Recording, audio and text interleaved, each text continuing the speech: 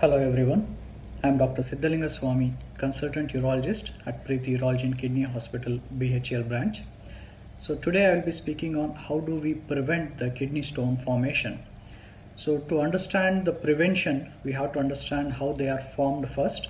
So most common reason for the kidney stones are uh, one is the less water intake, second is the high protein diet and high sodium content diet. So these are the main basic structures of uh, high risk of uh, kidney stone recurrences. So what we can do is we have to increase our water intake which should be ideally spaced in the intervals not at one time. Like drinking around 1 liter of water in one go will not help our kidneys neither it will be useful for the body.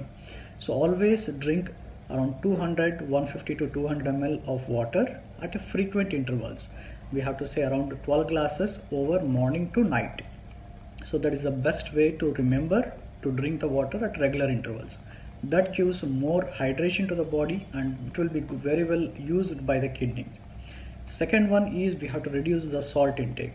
No question of adding the salt on the table. Whatever it has been cooked that's the final. You should never add more salt to your food. This sodium content is a high risk for the recurrence of these stones third is we have to reduce the protein intake. So most common in our um, food habits is a non-vegetarian food which has the highest content of the proteins followed with the dry fruits. Third is uh, the pulses. So we should be having a balanced food instead of avoiding everything. So we have to take it everything in a balanced way a small quantity at regular interval is the best one. So you have to avoid as much as possible the animal protein especially the red meat mutton. You can have a small quantity of uh, chicken and egg. You can have on a daily basis not a restriction.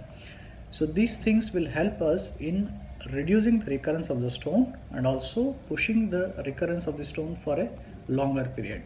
And the last one which is the most important thing uh, to prevent these recurrence or to identify these recurrence is the ultrasound examination.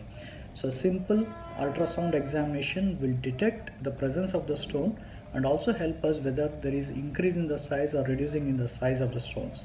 So we have to get our ultrasound done every six monthly even if we don't have the symptoms which is most important even if you don't have symptom just get one ultrasound done.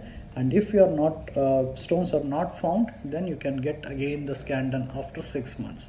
So this is the only method to identify the stones when they are very small and we have a medical management where they can be dissolved.